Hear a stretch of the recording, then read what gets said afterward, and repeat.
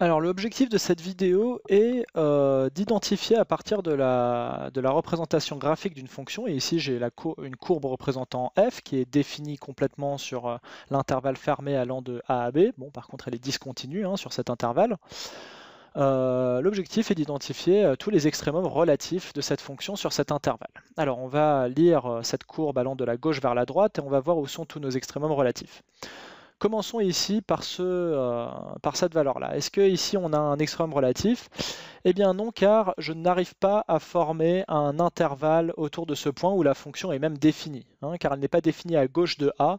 Donc que ce soit pour B ou pour A, car ici la fonction n'est pas définie à droite de B non plus, je n'arrive pas à former un intervalle au, euh, voisinage de ces, euh, de, ces deux, de ces deux valeurs A et B.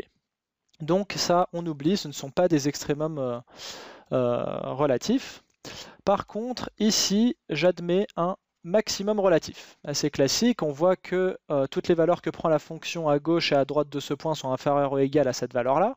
Hein. Euh, donc ici, j'ai bien un maximum relatif que j'ai noté en vert.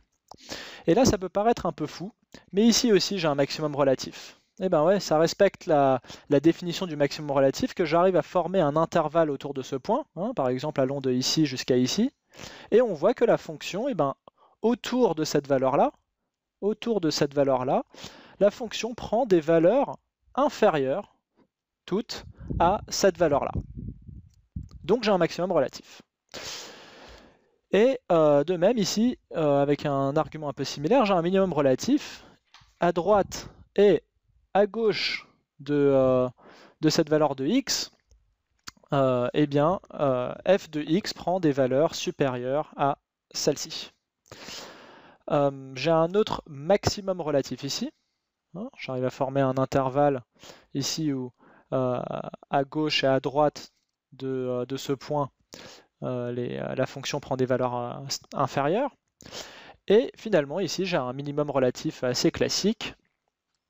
Donc voilà, j'ai réussi à identifier deux minimums relatifs et euh, trois maximums relatifs pour cette fonction f sur l'intervalle euh, allant de a jusqu'à b.